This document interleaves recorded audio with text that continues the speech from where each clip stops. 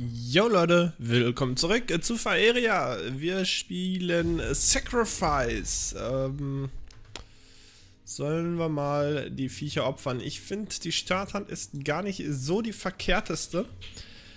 Ähm, wir können schon mal relativ gut damit einen Push vorgeben. Ähm, ich habe jetzt nicht drauf geachtet. Er spielt als Zweiter. Das heißt, ich bin leider mal damit dran. So. Jetzt bin ich gespannt, was kommt. Okay. Ich wollte gerade sagen. Äh, was macht er da? Also komm, der erste Zug ist klar.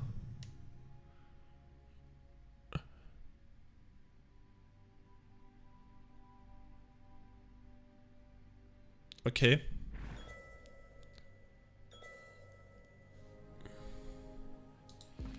Dann machen wir das mal so. Damit wir auch... Ist eigentlich wurscht. Ähm, damit wir ein bisschen Verehrer sammeln können. Farblos, farblos. Könnte ich machen. Du pusht doch jetzt nicht mit grün.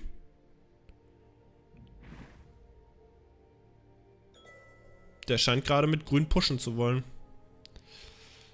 Ähm... Farblos, farblos, du dahin. Feierabend.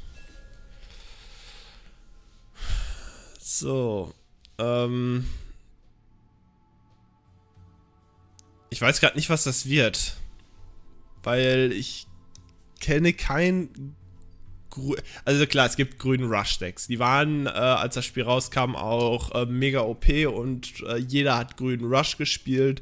Und ich fand es mega zum Kotzen, weil es mega langweilig war, weil im Endeffekt hieß nachher nur, wer hat äh, später, äh, wer hat als erstes den äh, Koloss draußen, den, ähm, den Golem von Tayam oder wie es heißt, oder die, äh, den, den, ähm, die Macht draußen, der mit 7-7 vom Leben her kostet, glaube ich, auch genau 7 Faeria. Ah, grün-gelb. Das könnte interessant werden, wenn ich ehrlich bin. So.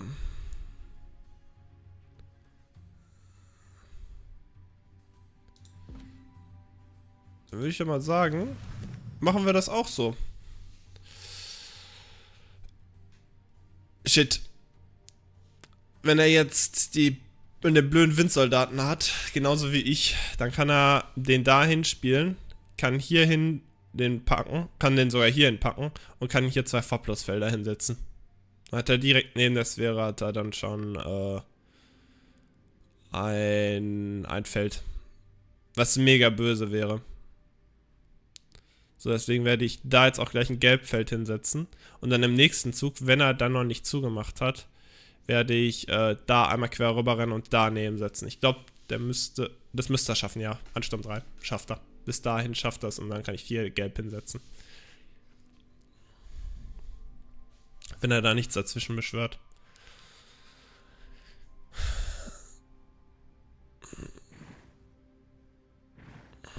Ja, ist okay. Nee, ist nicht okay. Das versaut meine Strategie. Okay. So. Das heißt... Wir gehen mal hier hin. Machen das so. Und...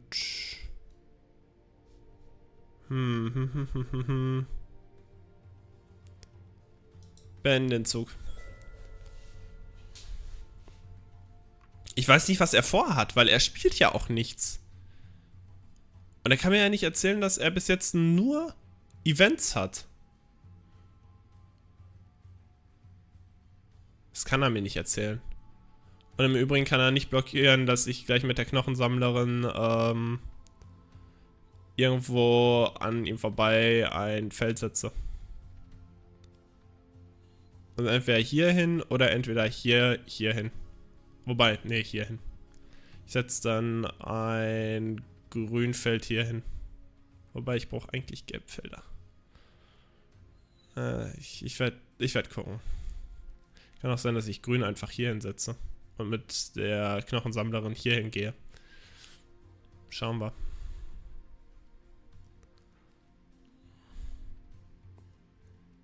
Weil im Moment brauche ich die grünen Felder. Ja. Okay. Er braucht ewig für seine Züge. Das sieht mir nach einem Sacrifice-Deck aus. Ja, das ist ein Sacrifice-Deck. Das ist ein Mirror-Match hier.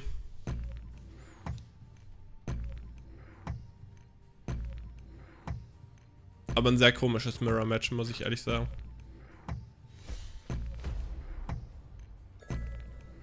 Okay. Okay. Dann springen wir einmal da drauf. Dann setzen wir doch einmal den Blütengeist. Dann Spielen wir einmal den Dämonenzüchter. Dann...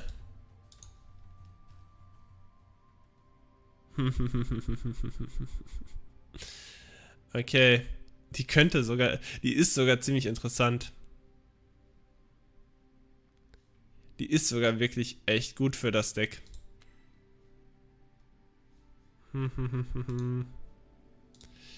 Äh, den kriege ich auf jeden Fall kaputt.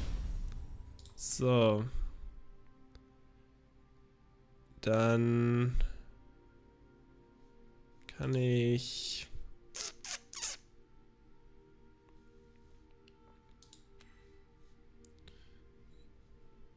Kann ich den wegopfern. Und ich snack mir die jetzt einfach. Arschlecken! Zug beenden. Habe ich noch nie überlegt, äh, Stimme des Hungers zu spielen, weil sie halt auch arschteuer ist. Also Stimme des Hungers ist halt super teuer. Ähm, hat jetzt halt äh, nur 2 gekostet, deswegen habe ich es auch gemacht. Ähm, aber man muss sich halt vorstellen, ne? Eins der bösesten Viecher hier im Spiel. Ja, du hast die Stimme der Wahrheit viel zu früh gespielt.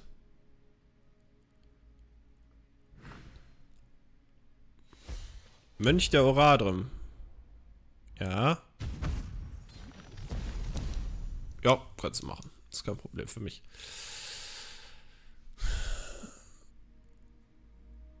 So. Ich muss aber hier jetzt abdecken.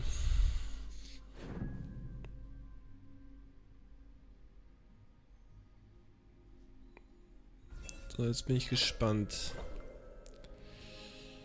Okay. Ich muss, wie gesagt, hier eigentlich zumachen. Eigentlich. Aber ich habe ja auch noch andere Pläne.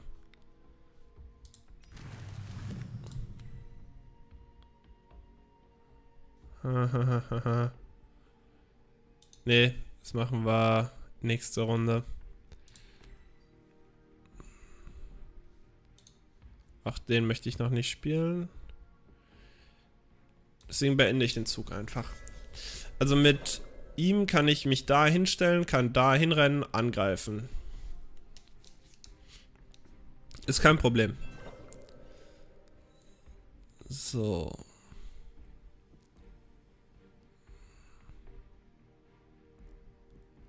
Echt? Also er müsste Prärie Prärie spielen, äh, um mich davor zu blocken. Ja. Er hat Angst davor, dass ich da durchpushe. Mit einem Viech. Und das ist eine berechtigte Angst.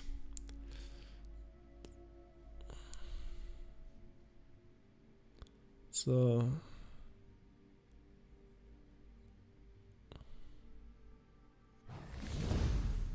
Jo.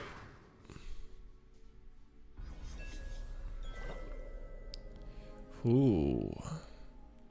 Es war aber ein Fehler im Übrigen.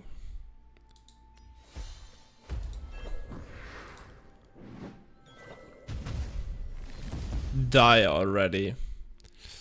So. Dann... Ja, schwierig. Obwohl, er kann jetzt genauso gut das machen. Dementsprechend werde ich...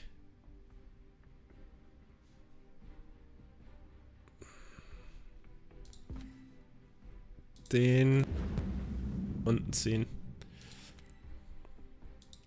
Die werde ich hier hinstellen. Weil damit gebe ich ihm einen Grund mehr, den hier nicht zu killen. Und dann macht er ihm gleich Stress. Äh, Stress. Zumindest ist es so der Plan. Ich kann jetzt dahin springen, dahin springen, äh, dahin kann ich gehen. Ich blockiere ihm, äh, also ich greife ihm gerade drei Felder an. Nämlich die hier oben.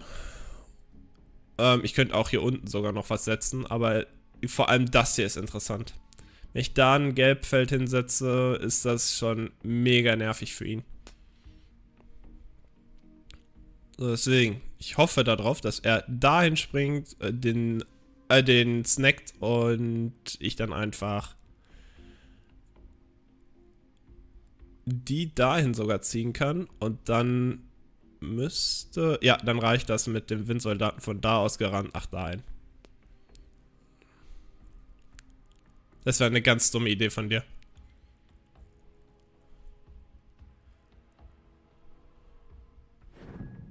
Ja. Es war der richtige Zug. Aber es war der, den ich erwartet habe.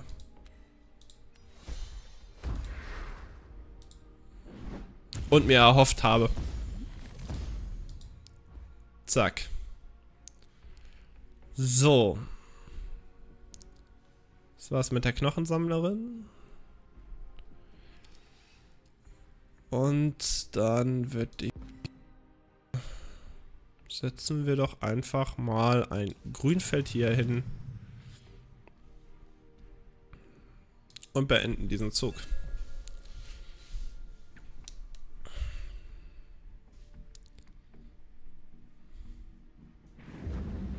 Hm, ja, das ist nicht tragisch jetzt. Im Normalfall spielt man in einem Sacrifice-Deck keine Spotter. Ja, er muss was dazwischen werfen, damit ich ihm jetzt gleich nicht drüber renne.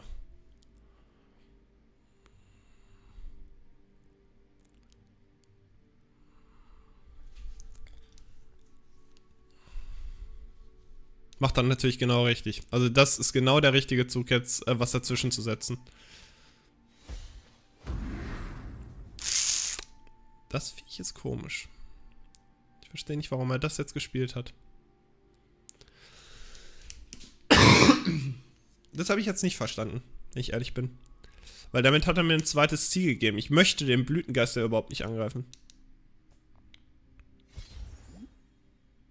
Ja, das ist egal. Ah, okay, da kommt der nächste Seelenfresser. So. Ich werde jetzt einmal das machen. Snacken. Und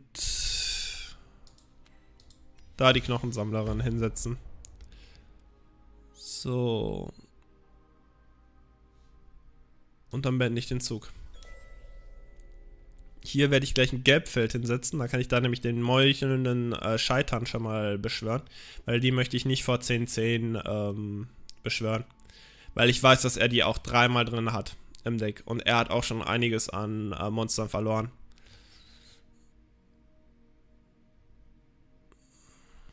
Das ist ein Problem für mich. Vor allem mir fehlen auch gerade meine Einsiedler. Ja, da kommt der Seelenrufer. Äh, Seelenfresser.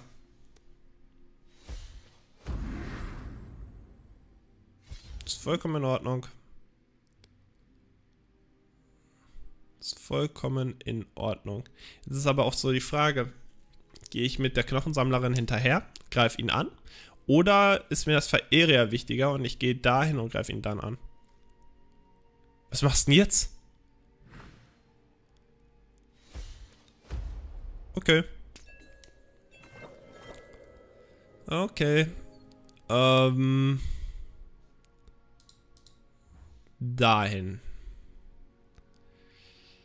Dann den dahin. Die dahin.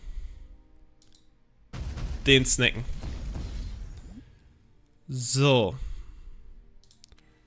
Den Dorfältesten. Könnte ich hier hinsetzen. Und dann den Zug beenden. Also die beiden kann ich komplett... Äh, ah ne, Moment. Ich muss erst den da snacken und dann, äh, und dann den Einsiedler. Wenn er schlau ist, rennt er jetzt mit dem Einsiedler in die äh, Knochensammlerin rein. So ein komischer Zug.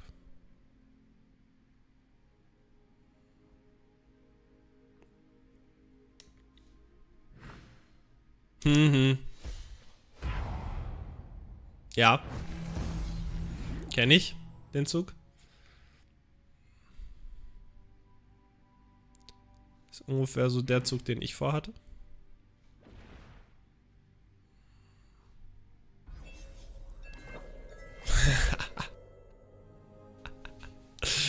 okay.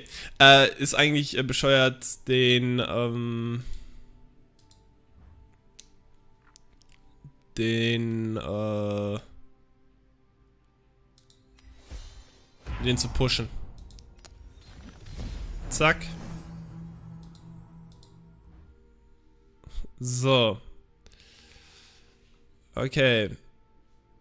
Dann zusätzlich dazu werde ich einmal hier ein Gelbfeld hinsetzen. Und den Zug beenden.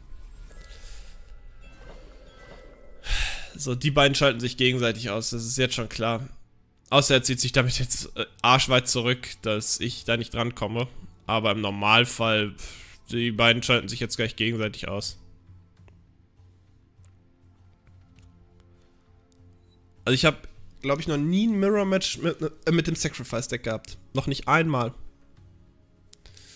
Deswegen finde ich es gerade echt interessant wie sich das Ganze entwickelt.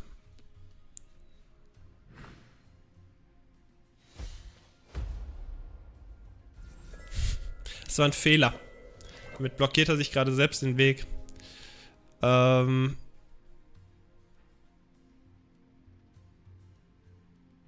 Okay. Dann Gelbfeld hin. Bums. Und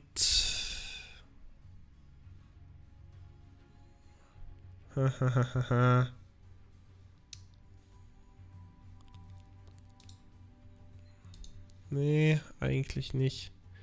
Eigentlich möchte ich mit dem dahin Zug beenden. Jetzt bin ich gespannt. Also wenn er schlau ist, rennt er jetzt mit beiden Viechern da rein. In den Seelenfresser. Einfach um schon mal Damage zu machen. Dann wird er ihn mit der Schutz... Ach scheiße, ich habe ihn, wenn ich nachgezogen. Ach, das war dumm. Das war ein Fehler. Ähm, einfach um schon mal Damage zu machen, weil er frisst die Elf. Wenn er da jetzt nichts zwischensetzen kann, frisst er die Elf. Also er frisst die Elf Damage fast zu 100%. So. Äh, ich kann bis dahin sogar laufen. Ja, ja, klar. Du rennst da drauf. Nee, den, äh, du könntest sogar sagen, ich greife gar nicht an. Ja, klar. Mit dem greifst du an. So. Aber mit dem greift er nicht an. Das ist sogar noch klüger.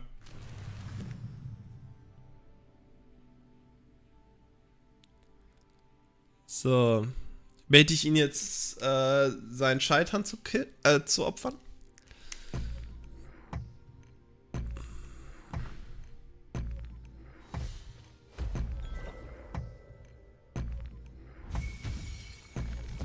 Mhm. Ja, ja. Das ist vollkommen in Ordnung.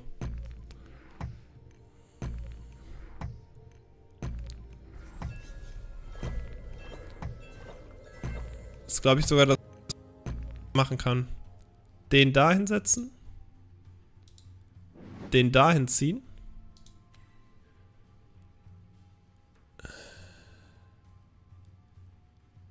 Den Blütengeist. Komm. Komm. Ah, weg. Nicht das bekommen, was ich gerne gehabt hätte. Den da hinsetzen. Äh, ba, ba, ba, ba, ba. Den opfern?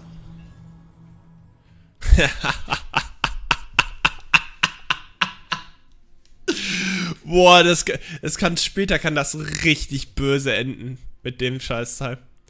Okay. Ähm, was, was er jetzt machen wird, denke ich, mit ihm dahin und dann angreifen. Feierabend.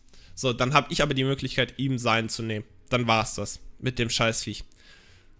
Ja. Genau den Zug, ah, denke ich, wird er machen. Also er wird da mit seinem Scheitern hingehen, wird mir den Seelenfresser nehmen und äh, dann ist es vorbei. So, wenn er jetzt auf die Schnapsidee kommt, mit dem Blütengeist blockieren zu wollen, funktioniert nicht. Ja. Das war genau der Zug, den ich erwartet habe. Weil sonst hätte ich ihm hier halt mit dem, ähm, mit dem Dorfältesten hätte ich da auf das Feld nachziehen können, hätte ihm den Blütengeist genommen und dann wäre egal gewesen. Ah, okay. Das hattest du vor.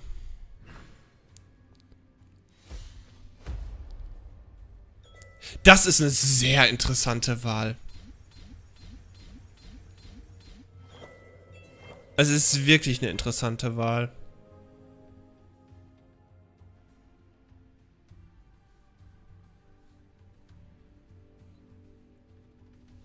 So, erstmal gucken, was wir sonst noch so haben. Drei. Äh, äh, da nicht.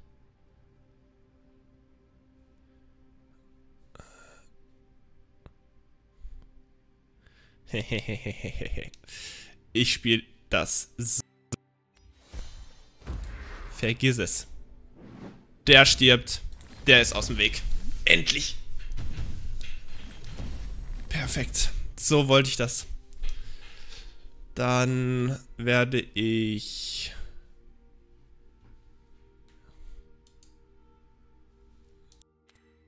Ich diesen hier setzen. Werde ihn opfern. Dann kriege ich zumindest schon mal eine Karte wieder. Perfekt. Dann nehme ich ihn. Sie lasse ich einen vorgehen. Greifen. Und mit ihm rutsche ich mal dahin. Zug beenden. So, jetzt bin ich gespannt. Weil er kommt mit ihm, kommt er nicht weit. Er kann mir jetzt hier unten einen wegnehmen, aber das, das ist mir egal. So viel interessanter ist, dass ich ihm den jetzt nehme. Den, äh, den verstehe ich nicht. Also Urzeitkoloss ist nicht gut für das Deck. Erstens, er ist viel zu teuer. Er ist wirklich viel zu teuer. Ähm, und man spielt ja dieses Deck nicht unbedingt auf so viele Länder. Man spielt ja eigentlich nur 3-3 Länder. So, und deswegen verstehe ich das jetzt gerade absolut nicht. Was er da gemacht hat warum er den überhaupt im Deck hat. Aber okay, das ist ja jedem selbst überlassen. Du spielst keinen Spotter in dem Deck. Das heißt, ich ziehe dir sowieso dahin und greife dir dann äh, den Koloss an. Der spielt echt einen Spotter. Der spielt ein Holzelementar. Willst du mich verarschen?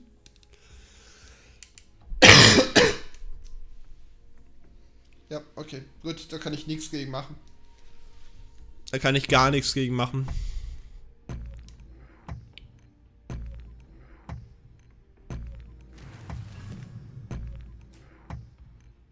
Vor allem er gibt mir jetzt auch vor, was ich zu tun habe.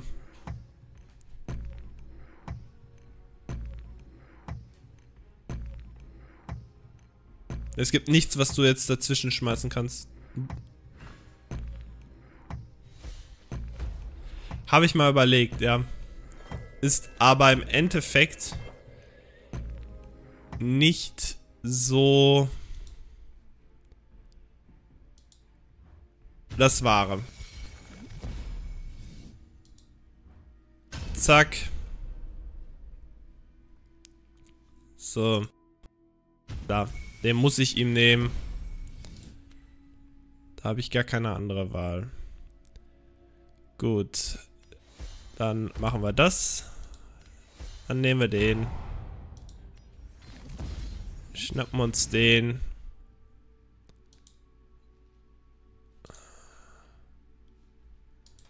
Und einfach, um den Druck jetzt noch weiter zu erhöhen, spielen wir den noch daneben. Ja. Also das war eine schöne Runde, aber die hast du jetzt verloren. Also gerade jetzt hast du sie verloren. Ich glaube nicht, dass es irgendwo noch was gibt, was ich verstärken könnte. Nee, brauche ich nicht. Ich glaube nicht, dass er noch was hat. Ich kann es mir nicht vorstellen. Also er wird jetzt nach unten den äh, Züchter nehmen, den killt er. Ist, vom, äh, ist auch vollkommen in Ordnung, dass er den weghaut. Dadurch habe ich aber die Möglichkeit, meinen äh, Sensenmann zu behalten. Den hier, den Todeswandler, und kann jetzt den Scheitern darunter ziehen, ihn damit angreifen. Dann ist vorbei.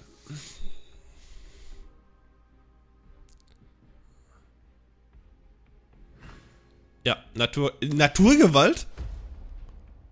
Okay. Hätte ich nicht erwartet, dass er die spielt. Okay, ähm. Also.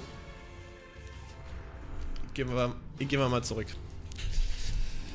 So, das ist sowieso jetzt schon eins der Videos, die, äh, die super lange gedauert haben. Deswegen kann ich das auch noch ein bisschen länger ziehen. Ähm, das ist ja mein Sacrifice-Deck und äh, mit Abstand das teuerste ist der Seelenfresser. Ähm, was ich jedem Sacrifice-Spieler raten möchte. Ab hier ist Schluss. Also, Moment, ab hier. So, alles, was da drüber ist von den Kosten her, ist zu teuer. Ähm, ja, es gibt so das eine oder andere. Hier, Stimme des Hungers, ihr habt es gesehen, äh, kann ganz cool kommen man opfert halt äh, gerne in diesem Deck seine Viecher. Aber das Problem ist ganz einfach. Ich habe ich hab nicht einmal Bodenkunde gezogen. Ähm, ich spiele es auch mal einmal. Das Problem ist einfach, sie ist zu teuer. Ich bin nur bei 2,8. Das hat man auch am Ende gesehen. Ich hatte, also ich, ich habe gar nicht mehr aufs Verehrer geachtet, weil ich sowieso alles hätte spielen können von der Hand. Ähm, ja, es gibt durchaus die Sachen, ähm, die cool wäre. Tarum, bestes Beispiel. Ähm, wäre, wenn ich ein absolut äh, auf grün basierendes Sacrifice-Deck spielen möchte, wo ich dann nur drei äh, Wüsten brauche, wäre das super cool. Wäre echt genial. Aber dafür habe ich einfach nicht die, ähm, die Vereria, um das überhaupt irgendwie zu realisieren. Deswegen, absoluter Blödsinn. Rankenwald könnte man noch überlegen, äh, sowas reinzunehmen, aber das ist, das ist halt was Günstiges. Aber eigentlich, man opfert ja Kreaturen, nicht ähm, Strukturen. Strukturen gelten ja nicht als Kreaturen und dementsprechend triggert sowas wie der Seelenfresser nicht. Man kann zum Beispiel auch nicht mit ähm, Dämonenzüchter das äh, wegopfern. Deswegen, ähm, nicht alles, was letzte Worte hat, funktioniert in diesem Deck. Das ist nun mal so. Das fand ich zum. Äh, nee, das ist er nicht, oder? Nee, das ist er nicht. Ähm, den, den, den, den. Äh, hier, Mönch der Oradrim. Fand ich auch passt einfach nicht. Dann spielt man Gelb Rush. Also wenn er, wenn er das so spielen möchte, dann sollte er Gelb Rush spielen. Er hatte auch einmal die Möglichkeit, mir eigentlich direkt neben die Sphäre ein Gelbfeld zu setzen, was wo er das eigentlich vertan hat, weil er, ich glaube, oben links hatte er da in dem Zug schon zwei gesetzt, die eigentlich total Bullshit waren. So, deswegen, da hätte ich an seiner Stelle eher Mönch gespielt, runterge äh, wäre ich runtergerannt und äh, hätte da ein Gelbfeld hingesetzt. Ähm, egal. Ganz wichtig in dem Deck, Windsoldat. Ist, glaube ich, somit eine der, der aller, aller, aller wichtigsten Karten in diesem, äh, im ganzen Deck. Im wirklich kompletten Deck. Warte. So. Ich habe den einmal in Rare. Hallo. Ähm, ganz einfach aus dem Grunde, weil er genau das macht, was das Deck möchte. Er ist kurz da, greift an, Feierabend. So, auch hier wieder bis hier runter zum Windsoldaten. Danach ist Feierabend. Danach kommt nichts, was äh, die Verirrerkosten mehr rechtfertigt. Das hier fand ich komplett merkwürdig. Das ist eigentlich für einen Mönch der Oradrim äh, passt das. Also er hat da wirklich so ein Gap Rush kombiniert mit, ähm, mit Sacrifice gespielt, was nicht funktioniert. Man muss sich auf eins konzentrieren. So, ähm, Todeswander ist auch so eine Karte, die äh, ich glaube mal teurer war. Inzwischen ist er halt nicht mehr so teuer, deswegen äh, ist er auch zweimal drin und nicht nur einmal drin. Aber hier unten gibt es halt wirklich nichts, aber auch gar nichts, was es rechtfertigt zu sagen, hey, ich möchte aber äh, vier Verehrer oder fünf Verehrer dafür zahlen und äh, dementsprechend, nein, macht nichts. Kalim wird er wahrscheinlich auch gespielt haben. Wenn er, wenn er schon so hart auf, auf Push gespielt hat, hat er garantiert auch einen Kalim gespielt. Was ich Blödsinn finde. Also Kalim wäre noch größerer Blödsinn fast. Ähm, schwierig. Also Sacrifice Deck ist halt, man muss halt wissen, wann gehe ich rein, wann bleibe ich draußen. Movement mit der Knochensammlerin ist ganz, ganz, ganz, ganz wichtig. Ich weiß gar nicht, hatte er eine oder hatte er keine? Ich glaube, er hatte keine. Eine der geilsten Karten auf jeden Fall im Sacrifice Deck. Wenn man grün-gelb spielt und das auf Sacrifice-Ebene, dann auf jeden Fall die Knochensammlerin. Die ist so geil in diesem Deck, weil es geht ständig irgendwo was kaputt auf dem Feld. Und gerade wenn ihr gegen äh, Lowlife äh, oder gegen die Low-Decks spielt, die sowas wie den Dorfältesten halt diese 1-1-Viecher haben, könnt ihr damit super einfach, einfach reinrennen. Nur reinrennen. Hier. Deswegen äh, habe ich mich so gefreut. Äh, der Einsiedler des Elderwaldes rennt rein mit der Knochensammlerin. Sie verliert ein Leben, kriegt ein Leben und einen Angriff dazu. Das heißt, ihr macht plus 1 im Angriff. So, Blütengeist, ihr macht plus 1 im Angriff. Ihr macht plus 1 im Angriff. Egal, was ihr da nehmt. Immer plus machen. So, ähm, Fanatiker ist für mich eigentlich so eine Karte, die wenige Leute inzwischen im Sacrifice-Deck spielen. Finde ich irgendwie traurig, weil der Fanatiker ist so eine geniale Karte. Ähm, lässt einfach manche Moves zu, die sonst nicht gehen würden. Deswegen, Fanatiker ist so ein Ding, äh, sollte man öfter darüber nachdenken, den reinzunehmen. Gerade sowas mit der Knochensammlerin, äh, hey, ich schieb die mal eben dahin und äh, kann dann äh, damit entweder angreifen oder kann äh, dann das nochmal eben wegopfern. Keine Ahnung, so ein Einsiedler, schiebe ich da die Knochensammlerin eben nehmen, mache ich den Dämonenzüchter und äh, dann ist die Kno äh, dann kriegt die Knochensammlerin nochmal einen Push. Irgendwie sowas. Also, ich bin einfach ein Fan davon. Ähm, ist aber so das Einzige, wo ich sagen würde, äh, wenn es nicht sein muss, oder wenn ihr es nicht mögt, nehmt raus. Genauso wie Bodenkunde. Bodenkunde ist, ist so ein Platzhalter im Endeffekt, weil ich habe ich hab irgendwann mal gesagt, wenn ich mal, äh, wenn ich grün im, im Deck habe, dann warum denn keine Bodenkunde spielen? Gerade in äh, Multifarben-Decks. Das ist einfach, finde ich, praktisch. So. Aber das ist auch so eine Sache, muss jeder für sich selber wissen. So. Also, im Endeffekt, ja, das Deck hat auf jeden Fall gezeigt, er, ähm, er hat ein bisschen Ahnung. Aber das Problem war einfach zu viele Karten, die da nicht reingehören. Die wirklich nicht reingehören. Weil im Endeffekt, ähm, was mich am meisten schockiert hat, war wirklich, Der hier. Der schockiert mich wirklich am meisten. Weil ähm, man müsste 10 farbige Felder setzen, vor allem in seinem Spielstil, wo er ja, ich glaube, erst in der äh, vierten Runde oder so gezeigt hat, hey, ich habe aber auch Gelb im Deck mit seinem ersten Gelbfeld. Oder war die dritte Runde, ich weiß es gar nicht. Ähm, dass so wenig farbige Länder gesetzt wurden. Und das ist, äh, das ist ein Deck, was eigentlich im Mid-Game kommt und nicht im Late-Game. Klar, natürlich, der Seelenfresser wird stärker und stärker und stärker, aber die meisten Decks spielen schneller. Das heißt, ihr müsst damit auch eher auf die Mitte zielen und nicht auf ähm, nicht aufs Endgame. Deswegen ist der Uhrzeitkoloss total Schwachsinn. Und selbst wenn ihr die 10 Felder habt, dann kostet er immer noch 6. Und das ist der nicht wert, weil ähm, in dem Deck wird so oft so viel weggeopfert. Ähm, und leider Gottes ist es heute halt so, dass wir so einen Schwachsinn wie die, Ro äh, die roten Controls haben, die dann sagen, ist mir doch egal, äh, das burn ich dir schon weg. Die blauen, die dann einfach sagen, ja, weißt du was, dann äh, gibt es da eine schöne Karte, die nennt sich Verforschen. Und dann hast du dann 2-2 Frosch sitzen und gibst dafür 6 Verehrer aus. Äh, die gelben äh, sowieso immer, ne?